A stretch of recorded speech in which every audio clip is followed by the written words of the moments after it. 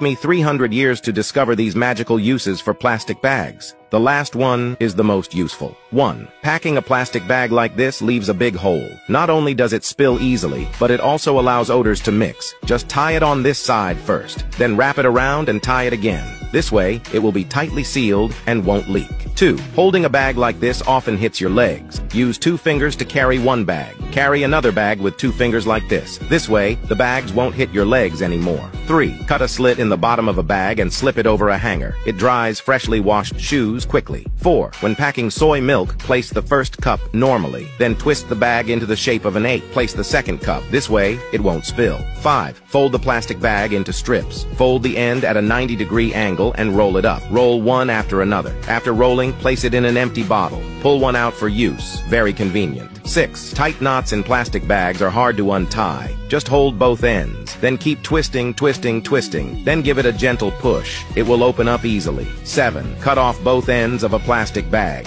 After cutting, it becomes a tube with both ends open. Slip it over a drain pipe and secure it with a zip tie. Insert it into the drain. Then place the upper part down. Secure it with a zip tie again, and it's done. Follow me for daily life hacks.